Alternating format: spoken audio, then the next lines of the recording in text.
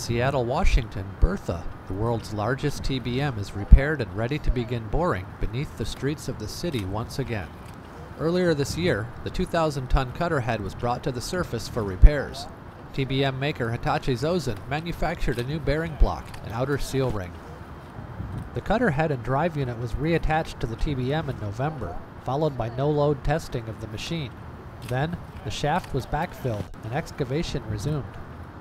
The last time that Seattle Tunnel Partners modified their schedule for the restart of the machine, they had listed December as a month where they would be doing the testing of the machine with uh, the plan to be able to resume mining by the end of the month. Within that testing, they uh, also communicated to us that moving forward with some mining distance within the access pit would be part of the load test plan. So earlier this week, they were able to mine forward eight feet. That was roughly about two feet, so they could complete what was called ring 159, which was previously partially mined, and then mine the six and a half feet for a complete ring of ring number 160. Again, this is uh, considered part of the testing of the machine.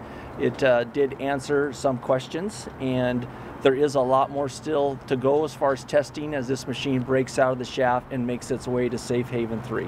This is a milestone for STP to demonstrate that uh, they have the machine ready to go to complete the requirement for building this tunnel.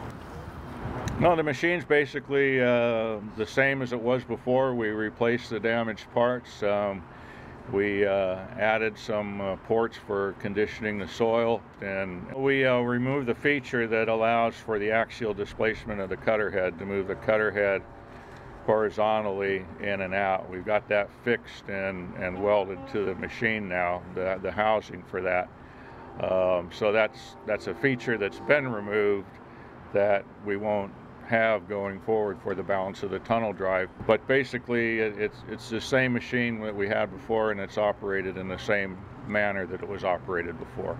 Last week we uh, completed the uh, backfilling of the shaft with the uh, sand and some soil in front of the TBM up to about four feet above the TBM.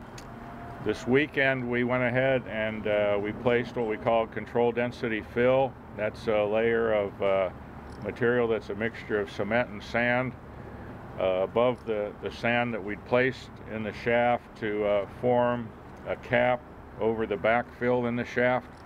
When we mine with the TBM, we need to introduce pressure into the plenum. We need to be able to hold that pressure. The ground that's above us needs to be able to withstand that pressure to keep any of that uh, air escaping to the surface. So we went with the controlled density fill to make sure that uh, we had the, the, cap that we needed to start up the TBM and uh, pressurize uh, the plenum behind the cutter head. We started mining the balance of what we call ring 159. We had 1.64 feet to go. And then the next step, as you know, once we stop mining is to build the next ring. So we built ring 159.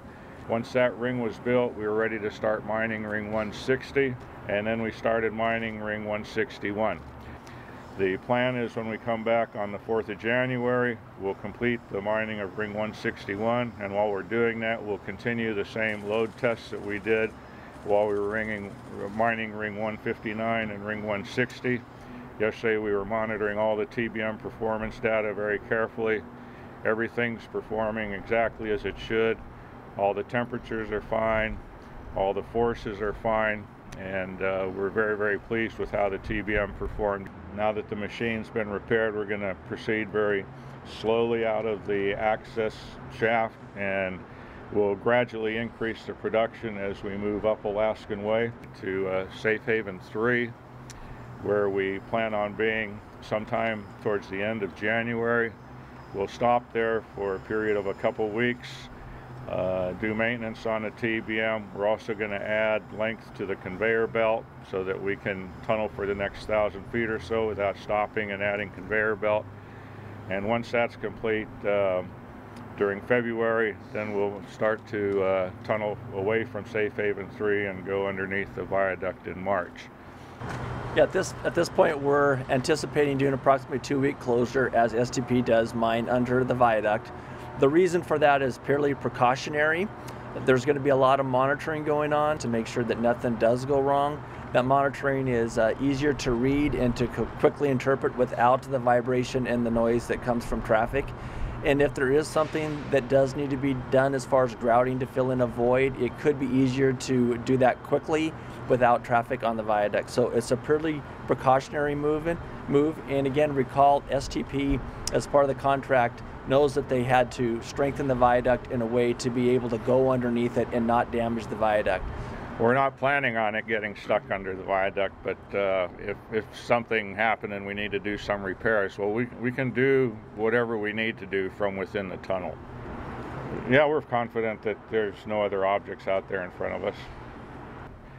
We've got locations established all the way along the balance of the tunnel drive where we'll stop every few hundred feet, stop for a day or up to a week, do an intervention, check everything on the cutter head, the cutting tools, all the ports for the soil conditioning, and then go ahead and, and drive the next section of tunnel.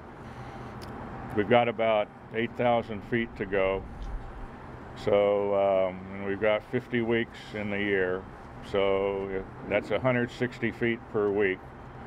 If we're going five days per week, that's 30 odd feet per day that we have to hit as an overall average to complete the tunnel drive in 2016. When we um, mined into the access pit, we were going about uh, one foot per hour, so it's taking about six hours to go the six and a half feet. Normally, we can mine the six and a half feet in something less than an hour, build a ring in less than an hour. So there's, there's a big variable of time there with respect to how quickly you can mine a ring or how long you might take to mine a ring. In Seattle, Washington, Sterling Noreen for Tunnel Talk.